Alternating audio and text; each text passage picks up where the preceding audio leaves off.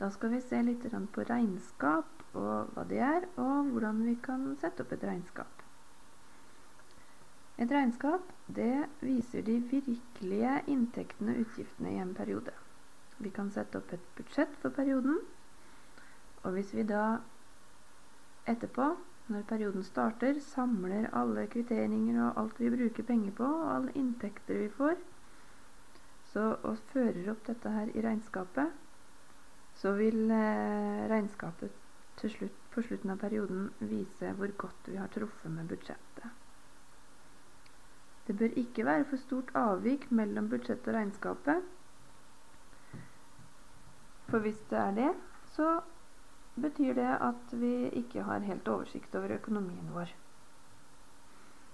Hvis det ikke har skjedd noe ekstraordinært, da bør vi ikke bruke mer penger enn det som står i budsjettet. For i budsjettet så har vi tenkt gjennom hva vi har råd til å bruke penger til.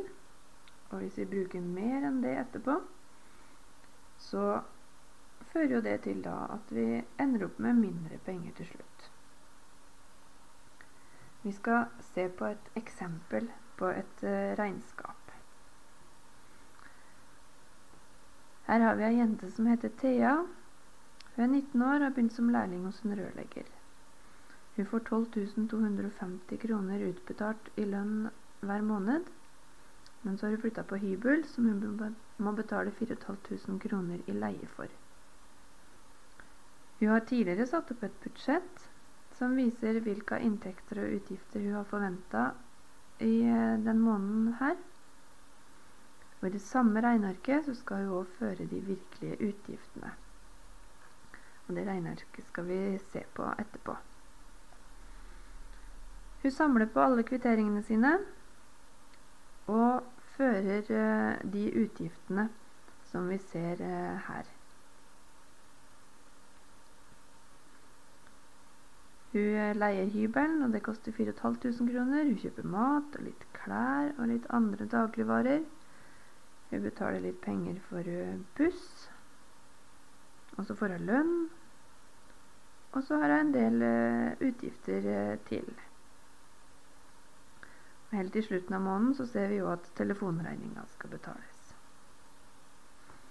Vi skal se litt på hvordan det her kan se ut i regnearket. Her har vi et eksempel på hvordan regnskapet kan føres. Vi har inntektene først. Og så kommer alle utgiftene her etterpå. Jeg fortsetter. Jeg skal vise resten av regnearket også. Her ser vi utgiftene fortsetter. Og gruppert i ulike kategorier, disse her utgiftene.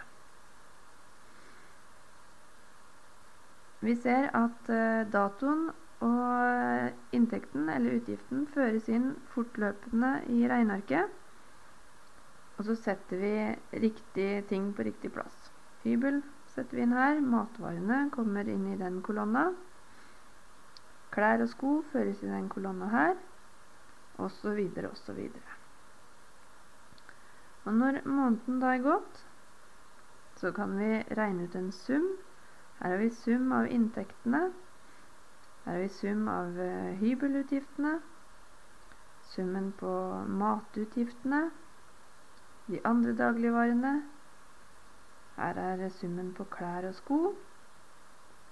Og hvis vi fortsetter litt bortover i regnearket, så finner vi også her har vi helse og hygiene, bl.a. en tannlegeregning, kollektivtransport, husholdningsartikler, internett og telefon og lek og fritid. Det er de utgiftene hun har hatt. Til slutt så summerer da Thea alle inntektene sine og alle utgiftene sine, og finner ut at den måneden her ble det faktisk et lite overskudd. Når vi sammenligner det her med budsjettet som uh, Thea satte opp eh, tidligere, så kan det se ut som det her. Her ser vi budsjettallene, det Thea trodde hun kom til å bruke penger på.